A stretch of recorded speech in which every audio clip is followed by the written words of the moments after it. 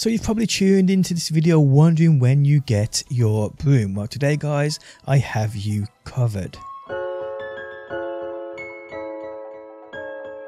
Okay, so unlocking your very first broom isn't a simple thing within Hogwarts Legacy. Well, I say it's quite simple, it's quite straightforward, but it is an absolute mission. Now, you've probably first thought you could just go to the broomsticks uh, shop. I think it's called the Spintwitches Sporting Needs shop within Hogsmeade and buy a broom from here you won't be able to do this straight away people you need to do a few things before you can even begin to be able to purchase a broom which is yeah it's just one of them things so firstly guys, you have to progress this game's quest line, its main quest line. And that consists of you going through quite a few quests. I mean, the very first main quest after the prologue is attend your first day at Hogwarts. This consists of Welcome to Hogwarts, the Charms class, Defense Against the Dark Arts class, Weasley After class, the Professor Ronen's assignment, and Welcome to Hogsmeade. That's just the first set of main quest lines you'll have to run through uh, to progress and get yourself a broom. But it don't end there, guys. The next main section of quests you have to complete are within the Find the Secret in the Restricted section. This consists of the Locket Secret.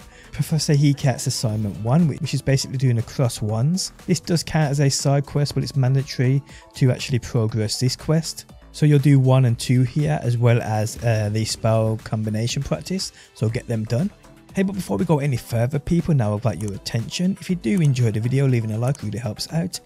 And if you're new around here and want those daily Hogwarts Legacy guides and videos, make sure you subscribe.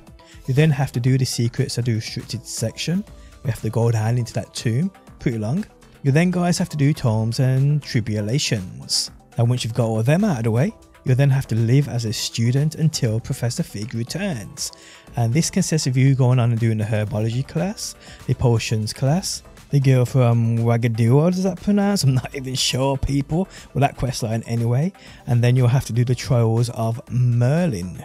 But then, guys, you then have to progress and do a further quest, a further few quests. These are all a part of the main quest line. This is all a part of the tell Professor Fig about the map chamber. Now this is dependent on the house you have picked, but if you're a Ravenclaw this should be called uh, Ollivander's Heirloom. If you're a Gryffindor it should be called The Hunt for the Missing Pages. If you are Hufflepuff I believe it's called Prisoner of Love and if you are Slytherin this is called Scrope's Last Hope. So once you've got that out of the way and done that, you then have to do Professor Hecat's assignment 2. And this is needed to unlock Expelliarmus.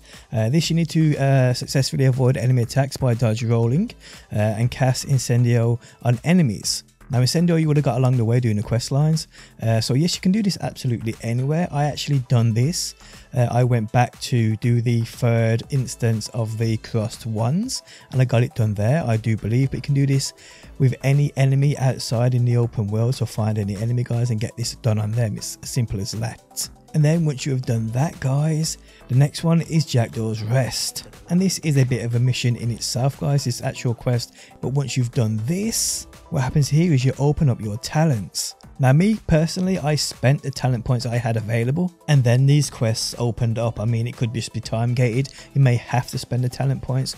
I'm not sure. But as soon as I did spend my talent points, people, I had the next set of quests pop up for me. And while the next one you want to do, which you should have had popped up is called complete the first keeper trial. So track that and you'll go outside and you'll learn to use a broom and it's actually quite a fun quest, I'm not going to lie. I guess this is a game where we're giving you a flying tutorial before you are set loose on broomsticks. But once you have done this quest, guys, and you've got it out of the way, what you can then do is go back to Hogsmeade, go back to that uh, Spintwitches Sporting Needs shop, and then you can purchase a broom costing 600 coins. Now what you want to do here guys if you haven't got the money is sell some of the gear you ain't gonna use. This is what I did guys and I was able to buy one of these brooms. If you haven't got the means of doing this and you haven't got the money as of quite yet, keep this in mind and the gear you do get sell it to an NPC, and any shopkeepers and then come back and purchase this broom or even bring that gear back to this uh, dude and sell them to him and then purchase a broom from him.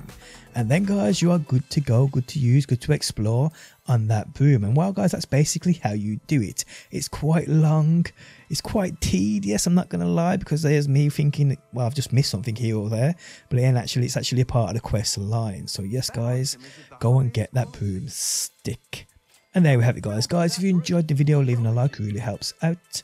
If you like what you see and want to see more Hogwarts on a daily basis, those daily guides, be sure to subscribe.